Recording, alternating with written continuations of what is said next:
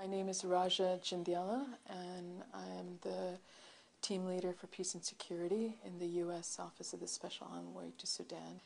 Um, my portfolio in the Office of the Special Envoy is to identify broadly the peace and security issues um, that will influence our relationship with Sudan uh, and the region itself, given that Sudan is such a um, uh, high priority for the administration at the moment.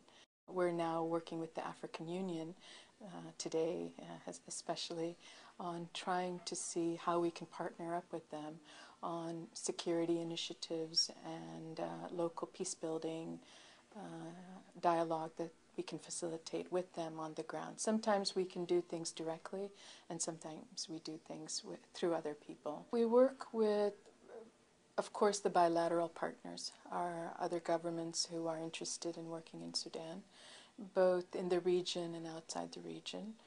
Uh, second, we work with international organizations, um, the African Union, the United Nations, the, uh, the Arab League, Organization of Islamic Countries. Um, and so we also work through other organizations.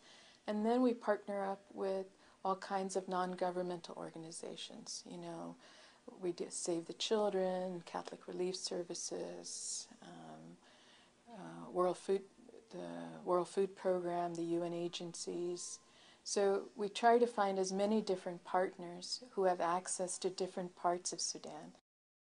I think I'm drawn by the amount of effort that is required to establish and sustain a relationship. And at the end of the day, you know, that's what diplomacy is. You know, how do we establish and sustain relationships with people and organizations um, that meet our U.S. government interests, but also that we contribute uh, as part of being a world leader on uh, broad issues across the globe because I focus a lot on security, and I think it, it's a it's one framework by which we establish diplomatic relationships. When you're establishing a relationship and we're having a dialogue with the government that's facing an internal crisis.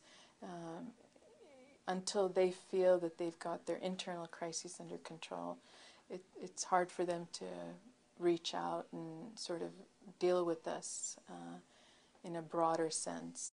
And sometimes a lot of conflicts, they're, they're not governments that we're dealing with. It's more of the both the governments and the rebel groups, the belligerents. So you don't have any one partner. You'll have multiple partners in countries where you're dealing with conflicts. Diplomacy can be carried out at so many different levels. I, th- I don't think diplomacy is just at the State Department. It's through church groups who work there. It's through NGOs. It's through people who support, you know, individual charities. So, I mean, I hope that U.S. population understands that we all have a role in diplomacy um, at different times and at different levels and different scope. So I think it's sort of a collective effort.